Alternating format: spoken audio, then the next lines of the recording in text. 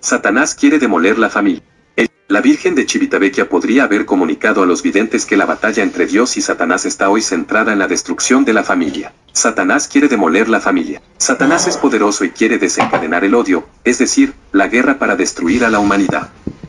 y para alcanzar este objetivo quiere derribar la iglesia de Dios, comenzando con la pequeña iglesia doméstica que es la familia, dijo el vidente Fabio Gregori, papá de la pequeña Jessica que vio a la Virgen por primera vez en Chivitavecchia el 10 de abril de 1995, en una entrevista concedida al mensual Studi Catholici, junio de 2015.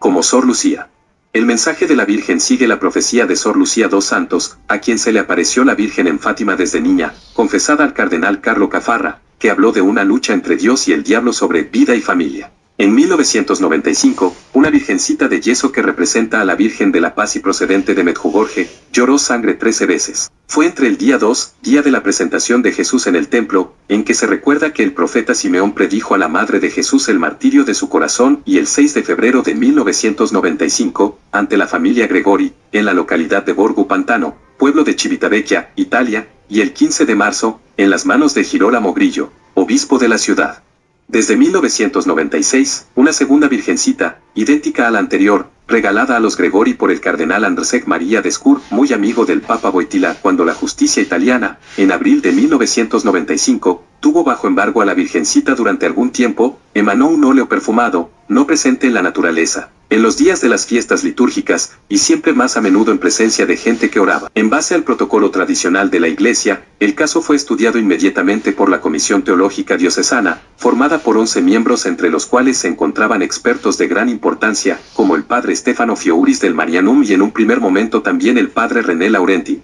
Al final la mayoría se pronunció a favor de la sobrenaturalidad del evento. Diez años después, el 15 de marzo de 2005, con un decreto del obispo Grillo, la parroquia que custodia la estatua de las lágrimas de sangre fue elevada a santuario. La Virgen en Chivitavecchia lloraría sangre de su hijo, los análisis y contraanálisis revelan que el líquido rojizo retirado de la Virgen es sangre humana con características masculinas y femeninas, con preponderancia de las primeras. Según lo que se ha filtrado de los mensajes, la Virgen está preocupada por la familia, la iglesia y el mundo, en definitiva por cada hombre a quien cuida como a un hijo. Gregory subraya que, durante las apariciones, la Virgen dijo que, sin una nueva conversión, muchos pastores podrían haber traicionado su vocación, incluso con graves escándalos, y que la Iglesia habría conocido una nueva gran apostasía, es decir, renegar de las verdades cristianas fundamentales reafirmadas durante los siglos por la tradición y la doctrina. Por eso, alrededor de la familia y la vida se lleva a cabo la batalla contra la dignidad divina del hombre.